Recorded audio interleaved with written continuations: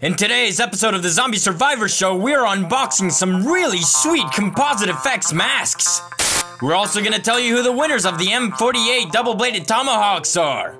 We will also be sharing who the finalists of the Design Your Own Axe, Hatchet, or Tomahawk contest are. And lastly, we will be showing you the one and only Skallagrim killing one of our Ivan heads with various weapons. All this and more in episode 6 of the Zombie Survivor Show. So, in the last Zombie Survivor show and also the last Zombie Go Boom episode, I gave you the opportunity to win not just one, but two M48 double bladed tomahawks. And the winners are way too many llamas and one stealthy brony. Hit me up on Twitter at MeisterChuck and I'll send these babies as fast as the post office can go. Speaking of axes, hatchets, and tomahawks, we had a contest where you, yes, you, could design your own axe, hatchet, and tomahawk to be made for real in order to be tested on Zombie Go Boom. We got hundreds of designs, and Mitchell Design and Fabrication is gonna make one of them into an actual weapon that we will be testing on Zombie Go Boom. But right now, we've narrowed it down to six finalists. Oh yeah, cause you're gonna be the one that gets to pick a winner. Let's check out the honorable mentions, and then I'll show you who the six finalists are. Here are our honorable mentions.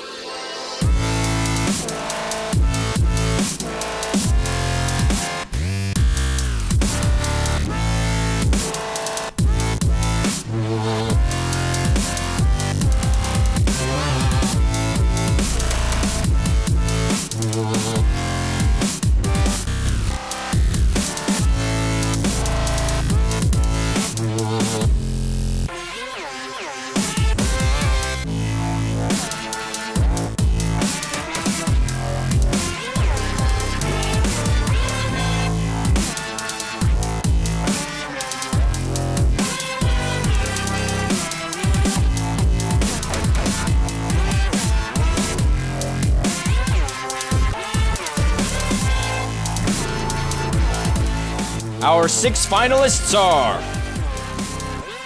Benedict Kaz, Eric Beal, Max Curtis, Owen Woodward, Sebastian Montes Maholi, and Shalev Sohar. Go to facebook.com slash zombiegoboomtv to vote on your favorite right now. Now I have news, not only for the main channel, but also for Zombie Go Boom TV 2. You guys may have noticed that the channel name changed to Weird Wonderful World. Were we hacked? No, we did that on purpose. And the reason why is so that we can explore making kick-ass content that may or may not involve zombies. So if you want to see something a little bit different, please go to youtube.com slash zombiegoboomtv2 and give us a subscribe, would ya? New videos will be coming out within the next two weeks.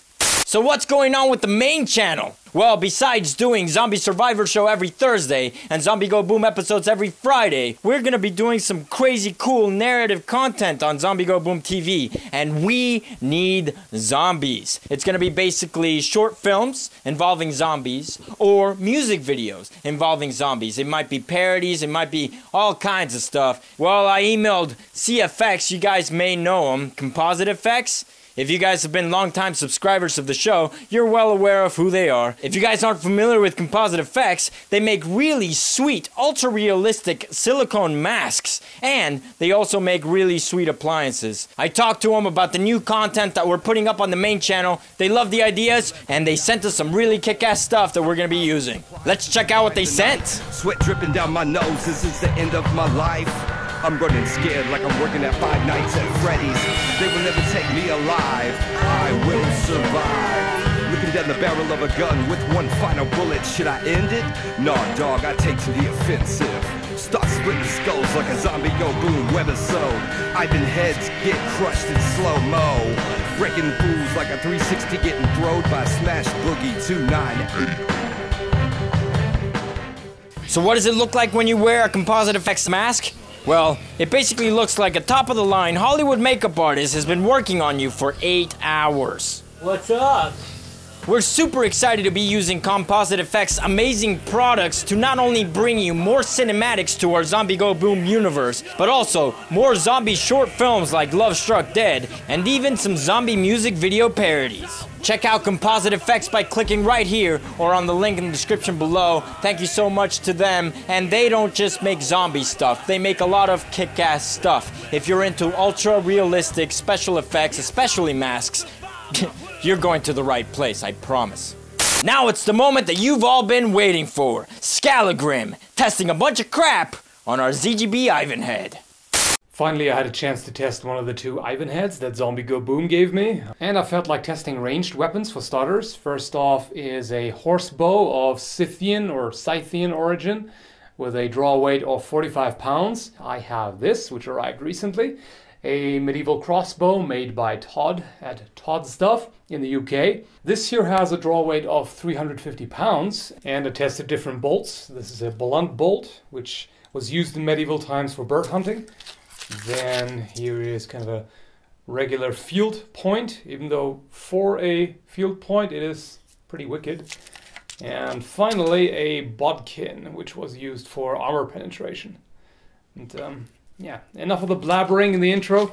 I'm sure you want to get to it. So uh, check out the carnage.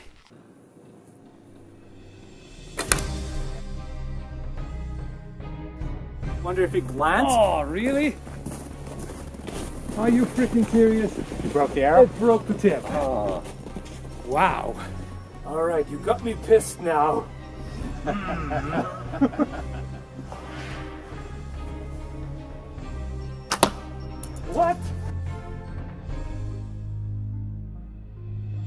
Sticking right in his throat.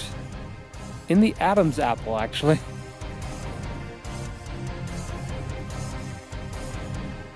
Uh, and now I've wasted two arrows on this sucker. You're gonna pay for this, my friend. You will. Now, we're gonna be serious here.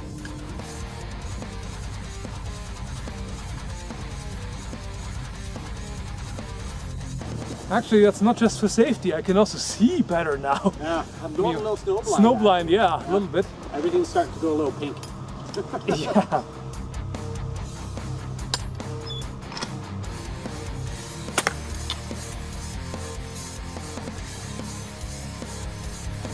It did crack the bone. It did. That would be a hospital trip right there. Yep. Zombie, yeah, not so much. A real person, that might have been a concussion. But uh, that one, not so much. That's some juicy brain. Chew on this.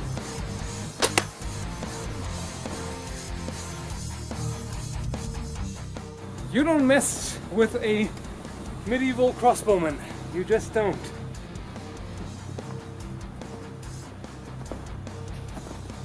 Yep. That's quite a bit of penetration. Yeah, yeah, I know. That's, that's what she said.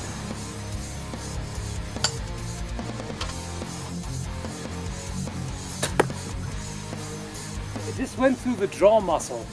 That's a very precise way of disabling a zombie.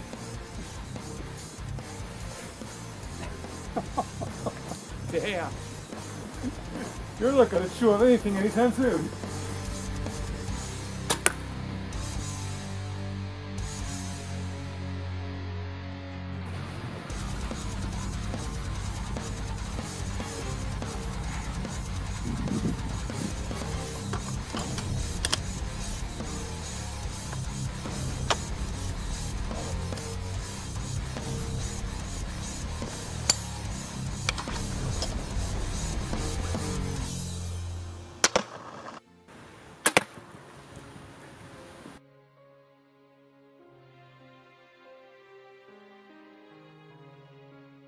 Well, that is gruesome.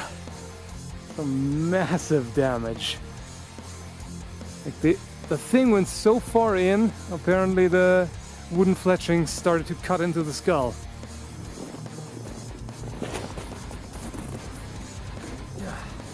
Yep, nice and gory. and fortunately the fletching is fine. So this is quite impressive. I can almost get two fingers in there. It broke quite a bit of the skull. And uh, yeah, as you saw, it went all the way through. um, yeah, just one piece of the skull just completely broken, separated from the rest. You could literally scoop out his brain through that. Yeah, I know this doesn't particularly look like brain, but it's what I had, whatever.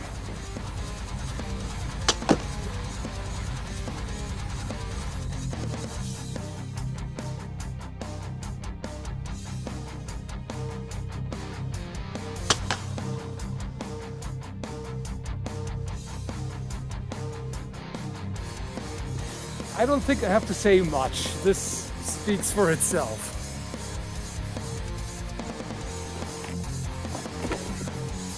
Surprisingly easy to get it out.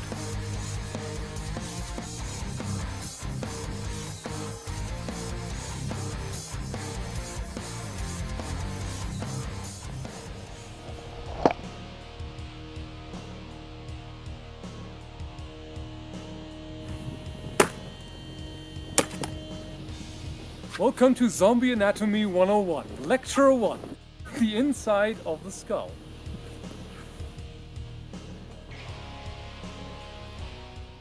To watch the full tests, more sword stuff, and more tests to come, please subscribe to Skallagrim, link in the description below. Click on the screen to the left to check out last week's Zombie Survivor show. Click on the screen in the middle to check out Skallagrim. Click on the screen to the right to check out Composite Effects. And please, please, please, check out our Facebook page to vote on the axe design that you most want to turn into a reality. Thank you guys, and we'll see you tomorrow with another mind blowing test from Zombie Go Boom.